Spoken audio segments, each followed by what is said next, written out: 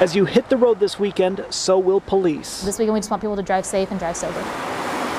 They're looking for intoxicated drivers, especially drugged drivers high on marijuana. Your inhibitions are limited, your reaction times are slowed. You may not be able to gauge your speed, your distance, you know, how to safely maneuver in traffic. Last year, 83 people in Kansas died in car accidents with drivers impaired by drugs.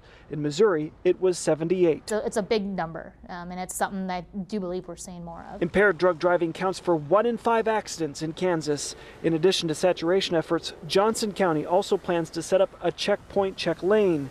It's another way they hope to catch people with drugs in their system or in their car. point of a saturation patrol is to saturate the area with extra eyes, extra enforcement.